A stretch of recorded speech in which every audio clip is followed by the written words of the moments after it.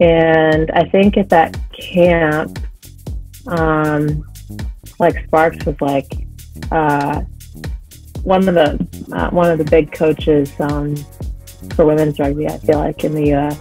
and, and within the national team, he was like, "Have you ever thought of playing seven?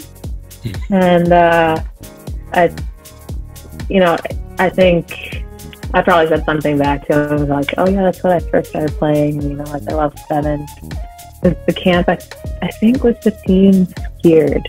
Yeah. And you know that my first year was a little bit surprising because I think we played a little bit of 15 for the spring. I wasn't anticipating that, so I had to learn a little bit more there.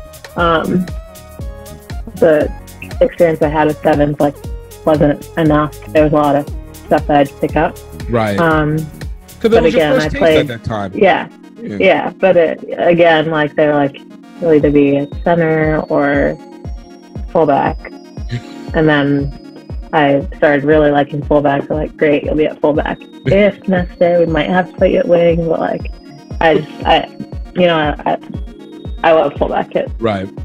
has all the pieces. I mean, Um, this is when it comes to hey, I sweep, I see the whole field, Yeah, command it. Yo, we can make sure if I have to do I a can breakaway, I'll insert- catch it. But I don't really understand all their strategy. So like, when I see the gap, I'll get there, and then I can just run. You know.